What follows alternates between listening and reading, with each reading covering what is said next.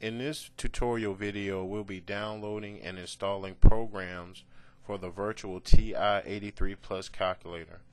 To get this and more series on the TI-83 graphing calculator series, visit the website www.gboyinc.net. Okay, in today's lesson, we'll be installing and downloading programs from the internet to the virtual TI-83 Plus calculator.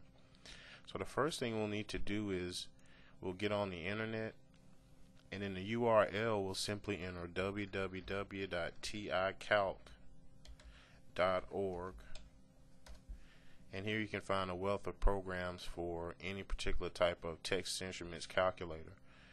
And once we're in ticalc.org, we'll click under Archives. And under Archives, we'll go to File Archives and then we'll access our archives via the web.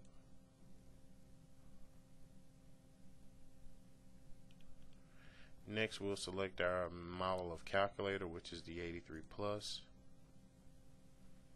We will then select basic programs.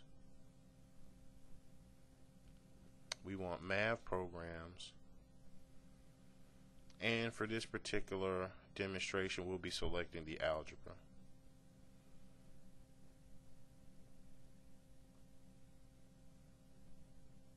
Okay, and here are the TI 83, 84 Plus basic math programs. And what we're actually going to look for is a program that will simplify radicals. So I'm simply going to scroll down to the R's.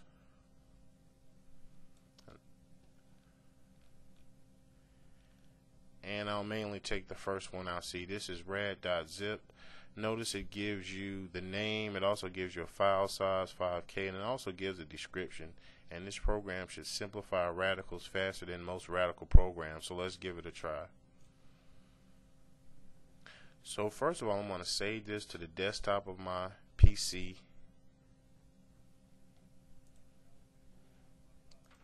and then I'll go to my desktop and I'll simply unzip the folder and I'm going to unzip it on my desktop So once the files are extracted, the next thing we will then do is pull up the graphing calculator. We will then right click, we will send file to VTI and the file that we want is in the desktop and it's in the folder RAD. So we double click on that. And now if we go into the program, we now see the program RAD. So let's press enter. And to execute the program let's press enter again. And they want us to input a radical. So let's try to simplify the square root of 20 okay notice that there is a glitch with this program. And that's the give and take on this. You may have to play around with the programs to see which ones actually do work so what we'll do at this time is we will delete this program from the calculator. So we'll simply hit enter to quit. And let's just clear the screen. We will then enter the memory which is a second function. So it's second and the plus sign which is the memory. We want the second option. We want to scroll down to programs we want to hit enter. The program we want to delete is RAD so we simply hit delete and access are we sure and we want to hit yes okay? So now let's go back to the home screen and now if we return the program we can see that we now have a blank screen okay? So let's go back to the home screen and let's pull up the internet and this time let's try this radical.8xp radical root simplifier this program does just what its title says. It simplifies radicals. So let's install it on our desktop. And just note that this file is not a zip file. So we'll simply save it to our desktop.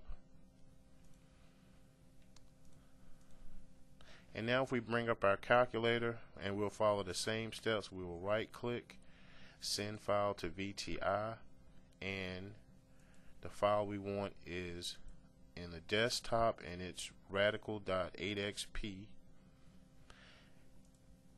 And now once we enter the program, notice we see radical, so we simply hit enter.